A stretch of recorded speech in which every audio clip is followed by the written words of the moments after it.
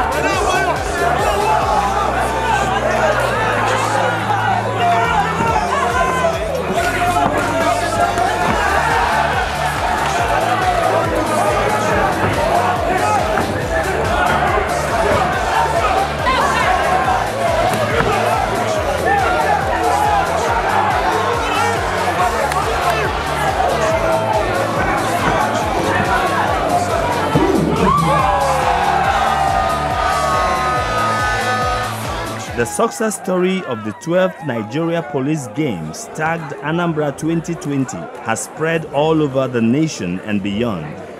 Tales continue to be told of the wonderful experiences of athletes and the police hierarchy and the amazing hospitality of Ndi Anambra embellished by the embracing love of Ndi.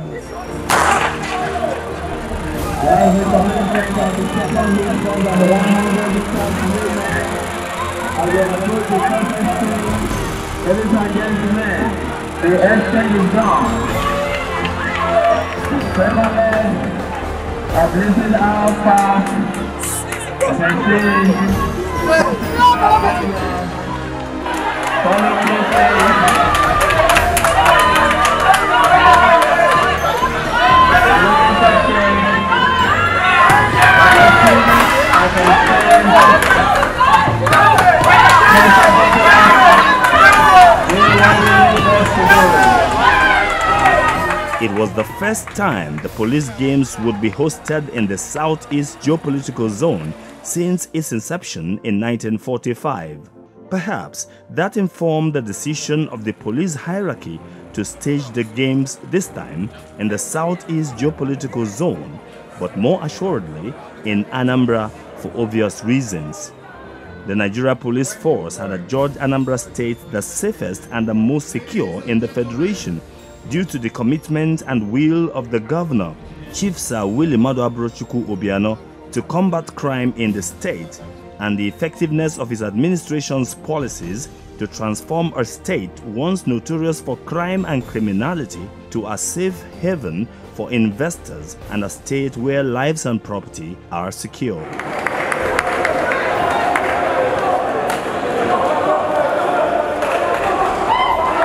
There was no doubt, therefore, that it would deliver a successful and peaceful police games. It was therefore with a sense of pride and fulfillment that the Inspector General of Police, Mr. Mohamed Adamu, invited Governor Obiano for the unveiling of the mascot for the 2020 police games. The unveiling, which took place at the force headquarters Louis Edet House, Abuja, marked the official confirmation that the games will be hosted in Anambra State. It also launched the preparation for the games into full gear. The 12th Nigeria Police Biannual Games will feature over 20 events which are expected to present a great spectacle for the relaxation and enjoyment of all our guests. I therefore see this opportunity to invite all and sundry to Anambra State to enjoy the games with us. This is the first time police games is being hosted in the southeast as a whole, you know, and for 29 years uh, of uh, existence of Anambra State, nothing like that has happened. So it's a rare privilege, and uh, we are good. I'm leading the command. I'm not delegating functions in this assignment. I want to make sure it's uh, properly done and uh, thoroughly things will be accomplished. Anambra State, led by His Excellency Chief Willie Obiano, swung into action immediately. There was need to rehabilitate the few sporting centers in the state. New facilities needed to be put in place also. And when the hosting right was given to Anambra State, His Excellency took up the challenge. But, you know, everybody was like, where will you host it? Where are the facilities? And I keep telling them, when we get to that bridge, we'll cross it. There was the issue of this hosting will be in one place.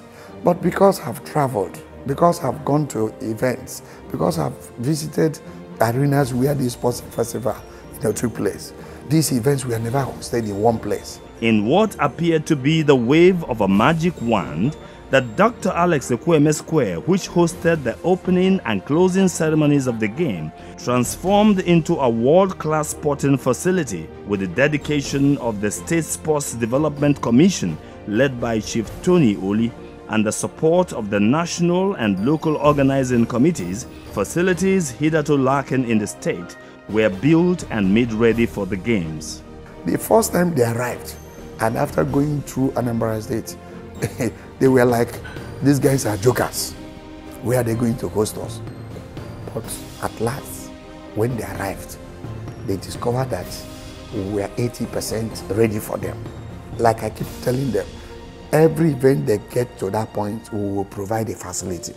New basketball, volleyball, and handball courts emerge in Ekwueme Square. An Olympic-sized swimming pool with all the features befitting a world standard pool was also built in record time. With the benefit of foresight, the NYSC camp in Mbaukwu and Umuawulu, already completed by the Obiano administration, was prepared to host some indoor games as well as the prestigious Golden Tulip Agulu Lake Hotel, Agulu. Rojenny Stadium and Holiday Resort in Oba was rehabilitated to host field and track events, while the Otuocha Stadium in Anambra East local government area was marked and prepared to host football games. Tansi College and Oma Event Center, located just opposite the Dr. Alex Ekwueme Square, were also prepped up to host boxing, judo, and other mixed martial arts and weightlifting events. On the Sunday, they wanted to start their game. Taekwondo, karate, we gave, we showed them the venue. It was time for boxing, we gave them the venue. On Wednesday, when it was time for track and field, Rojenny was there. We've already renovated it over time. On Tuesday, when football was ready to go, Otuocha Township Stadium was there ready to host them. And when hockey was ready, Tansi International was there. On Tuesday again, when basketball, volleyball said it is that all, we gave them the, the new courts that we prepared. And come Friday, the day the swimming was to take place. A night before then, we were still working at the swimming pool. And by 9 o'clock, when they were ready, the swimming pool was filled up with water. I heard it from them that this is the only short-cut Olympic-sized swimming pool in the country right now. I didn't say it, they were the one telling me, and I was saying, wow. I came in here not knowing what to expect, but knowing my state and how we get things done, no matter how tough, I knew they were going to pull through. The perfect example is the swimming pool. That three days before the uh, swimming event started, it was looking like it wasn't going to happen. But knowing the spirit of my people and the strength and the uh, sports-loving governor, we pulled through. The complementing contribution of Anambra-born transportation and logistic moguls like Chief Dr. Chidi Anyaegbu, Chisco Transport International, Chief Godwin Okeke of GEO Motors, who donated branded buses to the state government, aided the movement of athletes from their hotels to various game centers. It also added color to the fiesta and spoke volumes of the Igbo kindred spirit. I am impressed by what I've seen. Look at the number of industries, you know, local industries that are supporting the activities. You know, look at the number of entrepreneurship. You know, look at the level of development in Anambra State. I'm impressed. The governor is doing wonderfully well. And I feel that if other governors in this country are doing 10% of what Governor Biano has done, Nigeria will be a great nation. With preparation done, and athletes arriving in droves from the 12 zones of the Nigeria Police Force. Anambra State was set to host what many agreed, and even the Inspector General of Police, Alhaji Abubakar Adamu, attested to as the best police game so far. The opening ceremony, grand in every sense, was colorful and well attended. The Anambra turned out en masse to witness and support the games.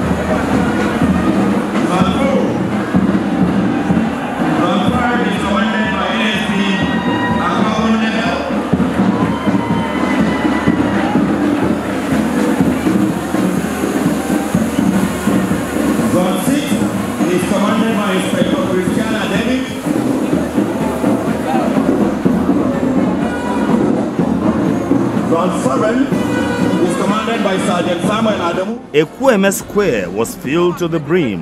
Athletes from the zones dressed in colorful sports wears participated in parade to kick off the games.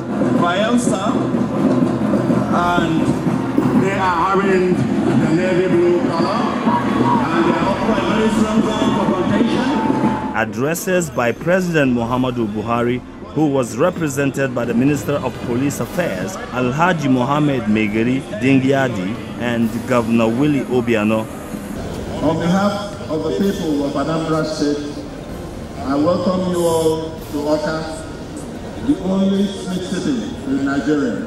With wide open arms, we welcome you to the birthplace of Ndigbo. There's a saying that if you want to go fast, you go alone. But if you want to go far, you go together. That is what sports helps us to do. Nothing gives Nigeria from different ethnicities a greater sense of unity than watching the Super Eagles win a trophy. At such times, our differences disappear. At such times, we are our brother's keeper. This is the unifying power of sports. Indeed, our beloved state has a great track record in sporting excellence. It is therefore clear that the Church of Anambra State, as host of the 12th edition of the Nigerian Police Game, is a great one. In accepting to host this event, our expectations are considerably high. First, we are sending a loud signal to the world. We are saying to everybody we have done our homework well. We have put our hands together. Come and become part of our legend success story. I believe the nation stands to benefit in no small measure from the physical and mental alertness that the games will offer over the 3,000 police officers drawn from across the country that will be competing at this event. I must appreciate His Excellency, the Executive Governor of Anambra State, William Obiano, for the hospitality and warm reception which you have afforded to us since our arrival in your state. I want to particularly thank you for the dance that you are making and moving your state forward. We also appreciate you for hosting the Nigerian Police Games and for all the support that you have extended to them. On this note, it is my honor to declare the 12th Nigeria Police Biannual Games TAG Anambra 2020 open.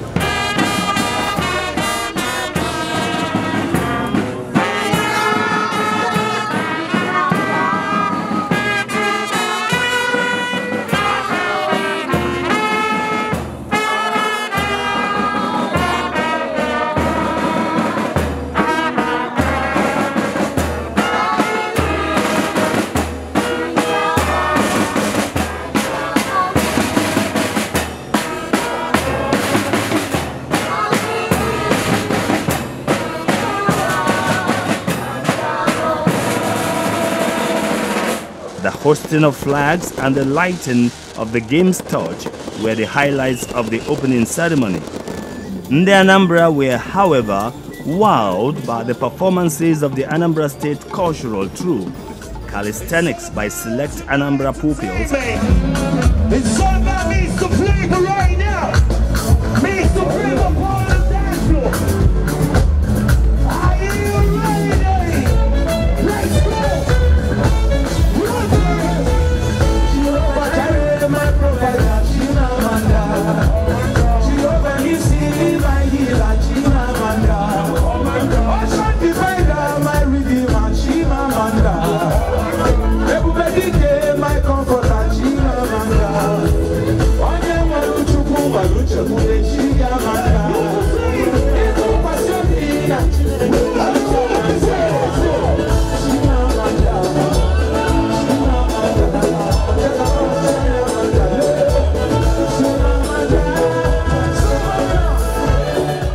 The games progressed, it became clearer that Anambra was the perfect choice for the game.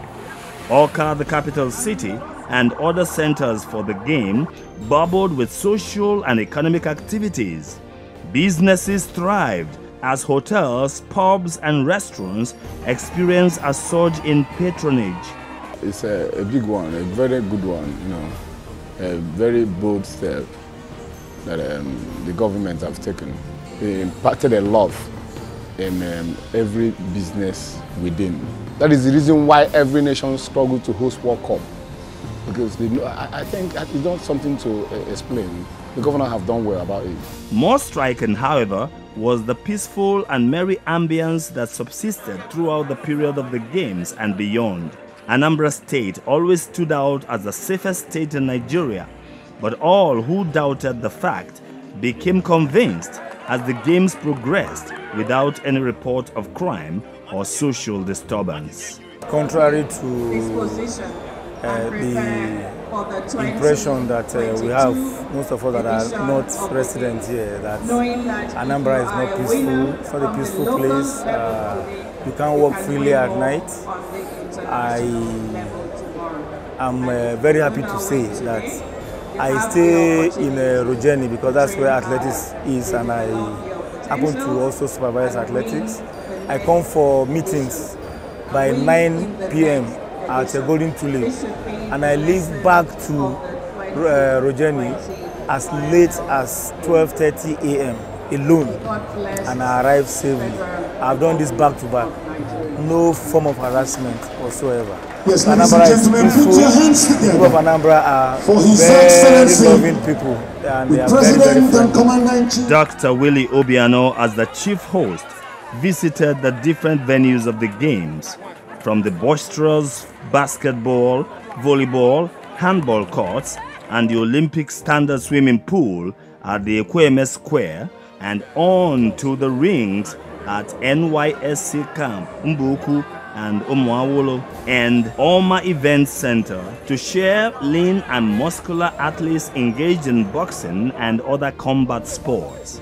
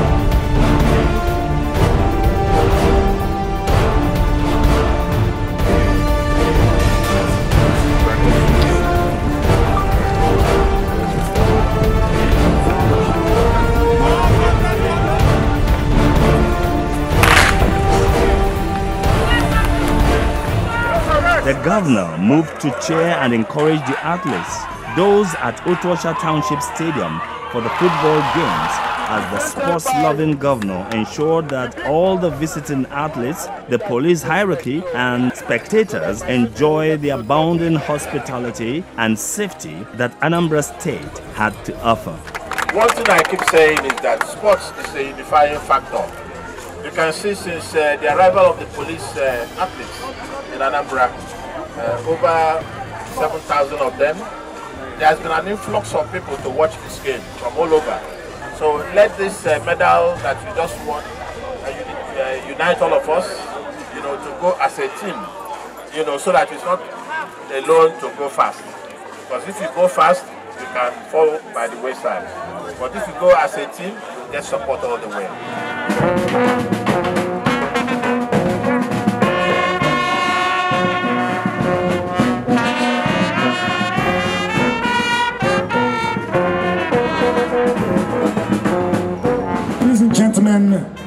It is still the 12th biennial Nigeria Police Games, especially the closing ceremony which is taking place today. And I must tell you, it has been a week-long activity, wonderful activity that we had here in Anambra State.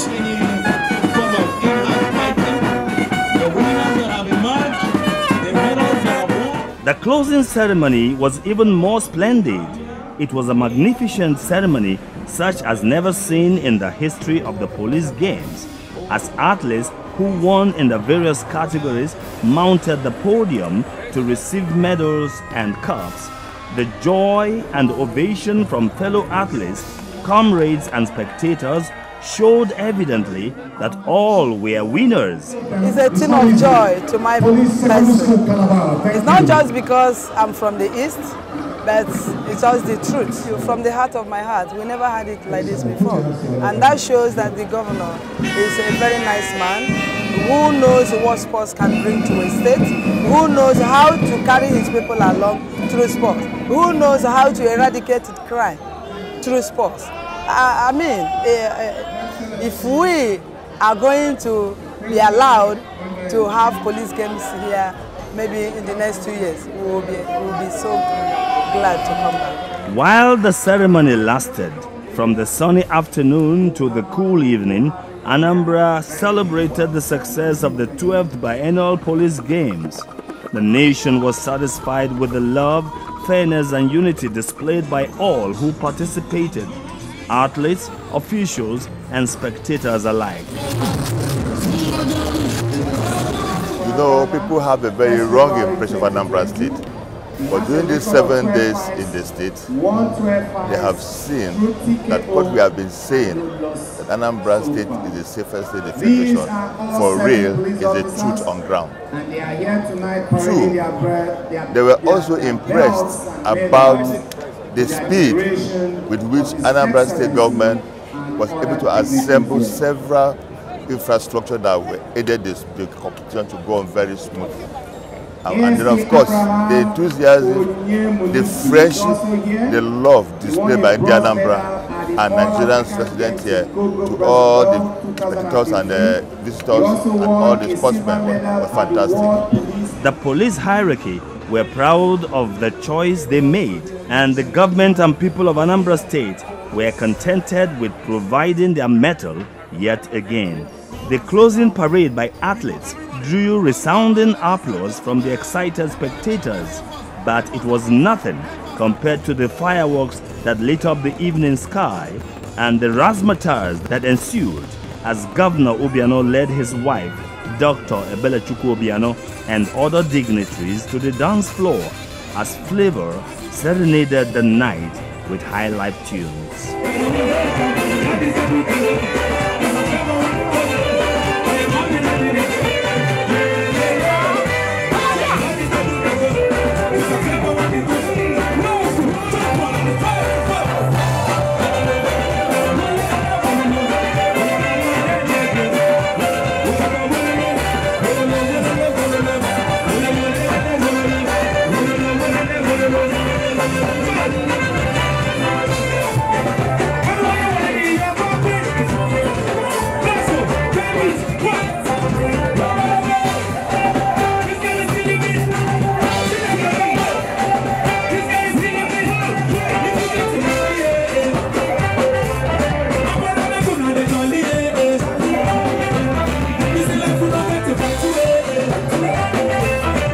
The games may have ended, but the story lingers.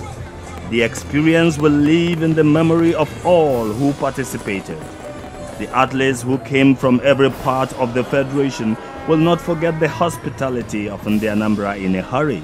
I'm highly impressed by what I've seen here today. It's a very wonderfully organized event and um, I commend the efforts of the governor of the state, um, uh, Dr. Willie you know, Biano, for accepting to host this event and for organizing such a wonderful event.